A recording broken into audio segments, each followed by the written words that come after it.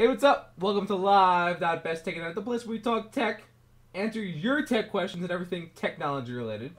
I got a request from the chat room, specifically from Coheed, one of our half operators in the chat, and he wanted to know how do you build or configure or go out and buy a home server? Um, a home server, for those of you don't know, is typically um, some sort of file server which you can run in your house, um, and it di- it's different from a web server in the sense that it's not you don't have to spend a lot of money on it. Um, even for web servers, you don't.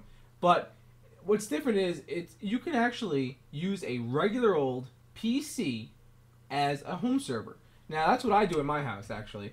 And now what's nice about this is you don't have to spend a lot of money on on a uh, high end web server or uh, you know HP ProLiant server or whatnot to to get the best bang for your buck. You can get a regular old desktop, fill it with a bunch of hard drives, install Linux or something, and you're good to go. Mount it as a Samba share on your network, and boom, you're ready. You're you're zapping. You know. Now, what do I recommend? Well, this is what I do. I have I have two things that I that I do specifically in my house. First of all, I have a I have a home server, um, which I use um, for hosting you know personal web pages, so I can do local development stuff. And also, I um, I have a uh, what they call a NAS, a network access storage um, device, which is just basically a hard drive. It's a 500 gig drive with an Ethernet uh, Ethernet um, port, so I can connect it directly to my router, and it's accessible over the network.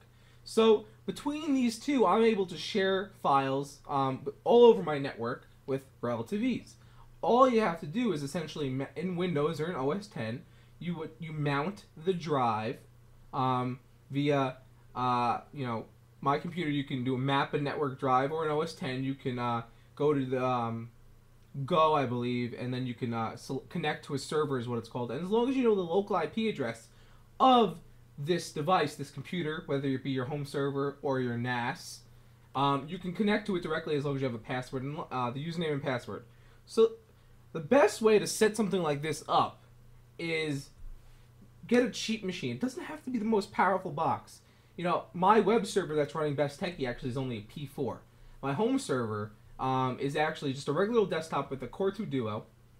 It's actually got a better processor in there, which is pretty funny, um, oddly enough. But it's got one gig of RAM, uh, Core 2 Duo, and a 250 gig hard drive, serial ATA.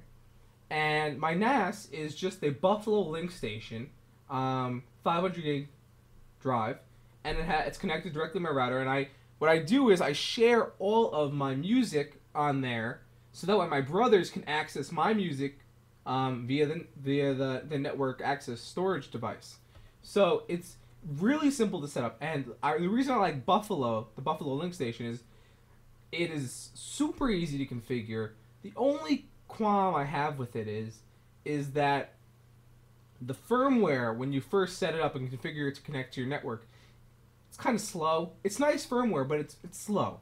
Um, it doesn't, you know, it's and it's it doesn't you know it takes a while to load pages and stuff. My network's plenty fast, but it's just slow. Uh, other than that, I have no issues with it. it it's a fast device. It uh, you know it accesses the network fast. My brothers can basically it's streaming music to my brother's machines all the time, no problems whatsoever. It, it works great. So I have no issues with the NAS.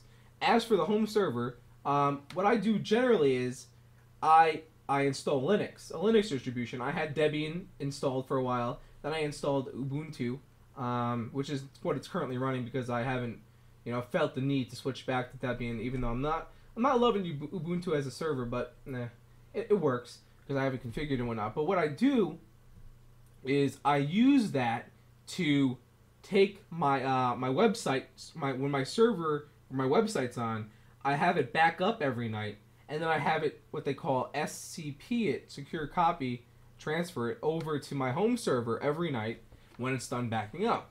So this allows me to have an offsite backup as well as at my house, and then I then copy it over to one of my computers later on um, every week or so. So there's a number of different uses you can use a home server for, but what what are you, what are you looking for? Like I said, it doesn't have to be the most high end machine. Um, you can get away with just a you know whatever is bottom line today, and maybe a gig of RAM, maybe two gigs if you want.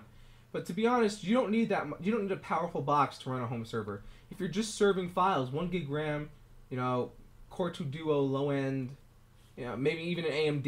If you want to put it together, pick up an AMD, pick up a gig of RAM, a nice, you know, Asus board, maybe a Gigabyte or whatever board, and you- you're good to go. You're set. You get a nice case. You know, it doesn't have to be the fanciest case.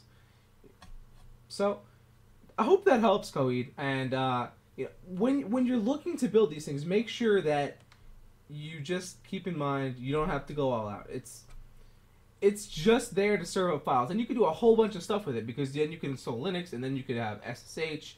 You know, um, it, depending on who your ISP is, you can even run uh, a web server, you know, locally, so you can access stuff. You know, mess around with developing locally as well. So, you know, home servers they're good. Uh, in terms of configuring, make sure you have uh, if depending on your ISP, you might have port 80 blocked. If port 80 is blocked, um, meaning you're gonna have to configure Apache if you're running a web server to use like port 81 or something. So you're not gonna be able to connect via www.blah blah blah blah blah. You're gonna have to connect blah blah blah blah blah colon uh, 81, which I had to do for a while until I upgraded my service. But uh, you know, that's what I recommend. I hope that helps, Cody. And uh, this has been live.besting. If you have any any questions specifically regarding home servers or NAS devices, which one I recommend, then send me an email, besttechie at besttechie.net, or leave a comment on the video or on the blog post. And, uh, or you can post it in our forums at besttechie.net slash forums, and uh, we can help you there. Anyway, thanks for watching. We'll see you next time.